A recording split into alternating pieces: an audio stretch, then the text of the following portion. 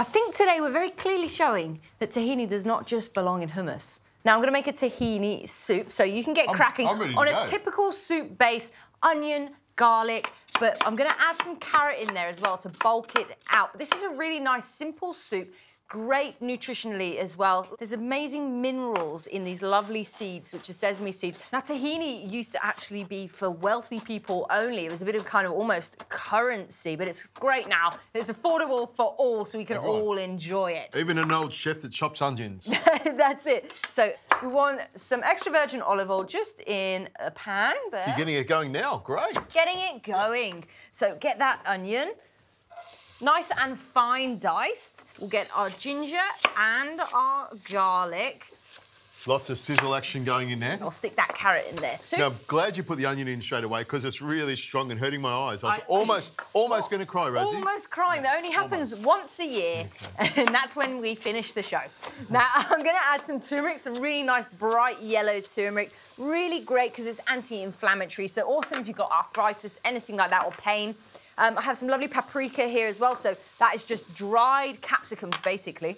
Um, a bit of cinnamon, which is lovely and used a lot in Middle Eastern cooking, especially in savoury dishes too. So some cinnamon there and some oregano. I don't think people use oregano enough, so I love oregano. In we I, go there. I reckon everyone's got a spice jar of oregano in their uh, pantry, so get it out and yeah, use it. it doesn't get used enough, No. does it? It doesn't get used enough. So we're just going to mix that one. Just make sure that those spices get toasted. Now, of course, we need some liquid in our soup. So I've got one litre of plant-based chicken stock here. Now, this is wonderful if you love the flavour of meat, but you don't necessarily want to eat it. Really great because it enhances all the flavours in your soup there too. Vegan, gluten-free, so it's just perfect. So in we go with this one.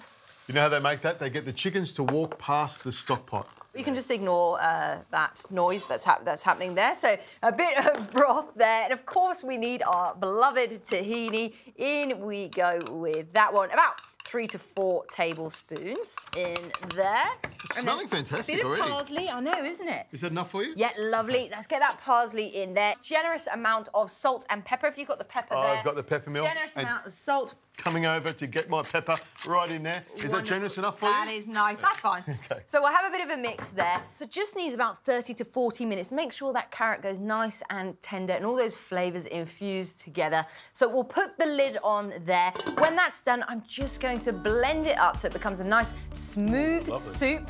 And then I'll show you how to put some nice extra nutrition on the top.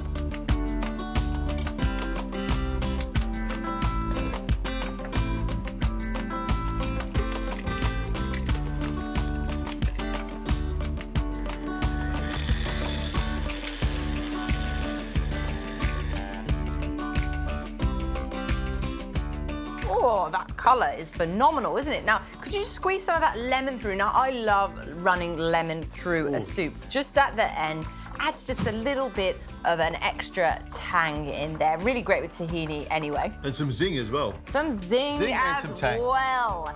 Now, what I want to have for this soup is add a bit more nutrition, like I said. So I've just got some beautiful nuts and seeds here. So I've got some hemp seeds. Now, you'll notice I'm not going to put any oil in a nice dry non-stick pan because naturally there is so many beautiful oils um, in nuts and seeds. That's why they're full of omega-3. So I've got some cashews there.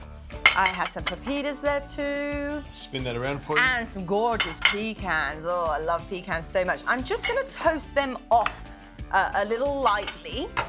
And then I'm gonna add just a bit of soy sauce. Yes, I know it's not Middle Eastern, but it is just really beautiful to have on top.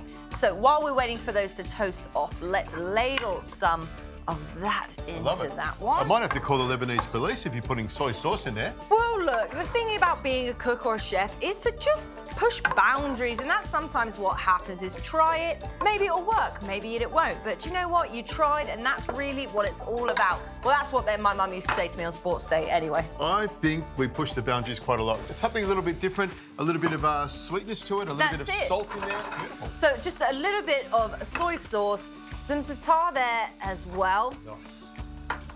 Just toast that off.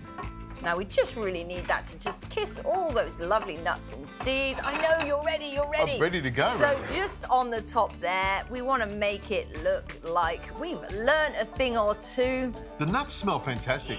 It's got a really amazing smell to it, so I'm looking forward to trying this. And the soup as well. There we go. Ooh. Oh, that is delicious. Very unique flavour as well. I really love just the lemon running through. If you go away with anything today, I think it should be that. The lemon holds it together beautifully. I love the consistency of it. Lots of flavour in there as well. And the nuts bring it all together at the end. Great crunch in there. A winner.